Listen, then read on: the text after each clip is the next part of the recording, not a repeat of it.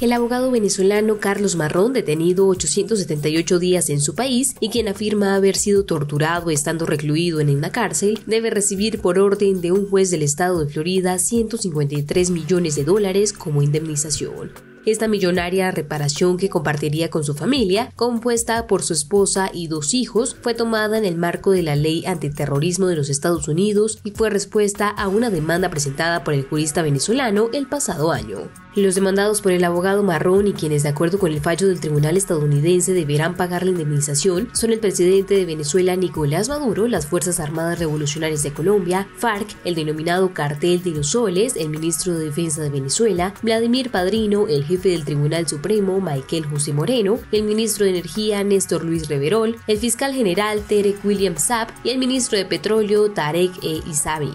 El fallo del juez de Miami ordena que a la esposa de Carlos Marrón se le asignen 45 millones de dólares y a cada uno de los hijos del matrimonio 15 millones, como una compensación por los padecimientos sufridos por el encarcelamiento de su padre. Al abogado Carlos Marrón, quien estaba exiliado en Estados Unidos pero que tuvo que volver a Venezuela en 2018 tras la enfermedad de su padre, se le asignaron 78 millones de dólares como compensación, porque luego del retorno a su patria fue detenido por autoridades del régimen de Nicolás Maduro, acusado de querer socavar la economía del país a través de un sitio web en el que se informaba sobre el mercado de divisas. Los ciudadanos estadounidenses que han sido víctimas de organizaciones terroristas fuera de su país pueden demandarlas en tribunales norteamericanos, así lo hizo Carlos Marrón, quien alegó que el presidente Maduro y los militares del cartel de los soles tienen relaciones con las FARC, Fuerzas Armadas Revolucionarias de Colombia. Como cartel de los soles es rotulado por los Estados Unidos, un grupo de militares de alto rango que en asociación con funcionarios del gobierno de Venezuela, entre ellos Nicolás Maduro, conforman una mafia dedicada al narcotráfico.